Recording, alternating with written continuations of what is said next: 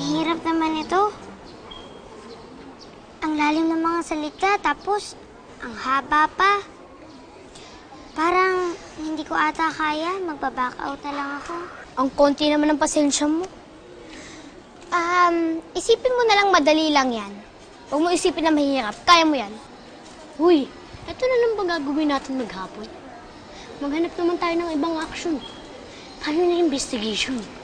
Investigation, investigation ka dyan. Wala namang case, di ba? Tsaka pwede ba mag-focus muna tayo dito kay Rachel? Tinan mo hirap na hirap siya, oh. Boring naman kasi. Kung naboboard ka, sana kanina ka pa umalis. Elsie, sino kausap mo? Ah, wala. Sabi ko, try ka lang ng try dyan para kayanin mo. Parang hindi ko talaga kaya. Ha? Tinatamad na ako, susuko na lang Hindi mo ako. kaya? Baback out na lang ako. Uy!